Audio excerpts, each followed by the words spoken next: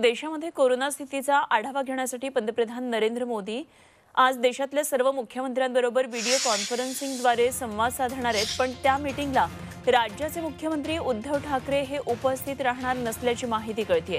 राज्याचे मुख्य सचिव देवशिष चक्रवर्ती यांनी पीएम कार्यालय यांना तसं कळवल्याची माहिती आहे आणि पीएम हे प्रत्येक राज्यातील सीएम यांना पाच मिनिटं संवाद देणार होते वेळ देणार होते पण सीएम यांना उपस्थित राहता येत नाहीये. त्याऐवजी आरोग्यमंत्री राजेश टोपे मीटिंगसाठी उपस्थित राहतील असं पत्राद्वारे कळवण्यात आलंय.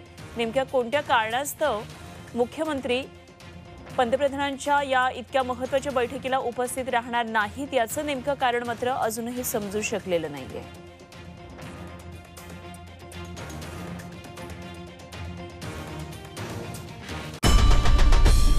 आई भवानीचा गजर. म्हणजे?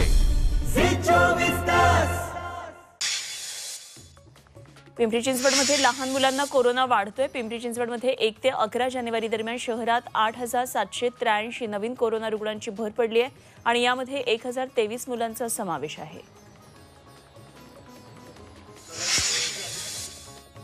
मुंबईत कोरोना सेल्फ टेस्ट करणाऱ्यांचं प्रमाण वाढलं आहे आतापर्यंत सुमारे साडेतीन लाख मुंबईकरांनी घरच्या घरी सेल्फ टेस्ट केली आहे.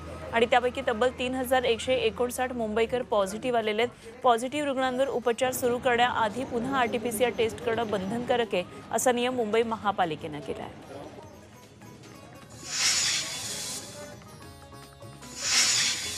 कोरोनाचा संसर्ग वाढू लागल्यानं घरीच कोरोनाची तपासणी करण्याचं प्रमाण वाढले आणि त्यामुळे कोरोना टेस्ट किटच्या मागणीमध्ये वाढ झाली आहे दिवसाला सहा ते सात हजार टेस्ट किटची विक्री होतीये आणि वाढत्या मागणीमुळे या टेस्ट किटची जादा दरामध्ये विक्री सुरू झाली आहे ग्राहकांची फसवणूक टाळण्यासाठी एफडीएनं औषधांच्या दुकानांच्या तपासण्या सुरू केलेल्या आहेत.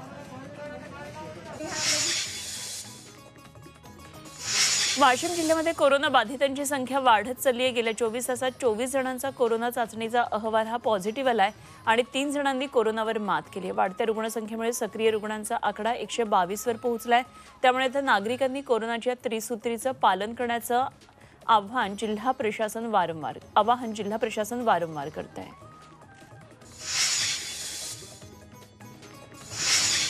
कोरोनाचं समूळ उच्चाटन करण्यासाठी चीन सरकारनं अक्षरशः दडपशाही आता सुरू केली आहे. संपूर्ण देशामध्ये जवळपास दोन कोटी लोकांना सक्तीनं होम क्वारंटाईन केलेलं आहे.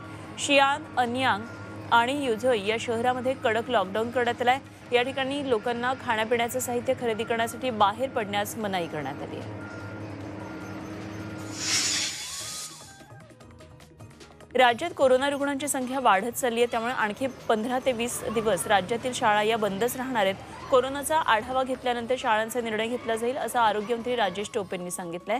फेब्रुवारी अखेरपर्यंत निर्बंध शिथिल केले जातील असंही त्यांनी सांगितलंय. छत्रपतींचा विचार म्हणजे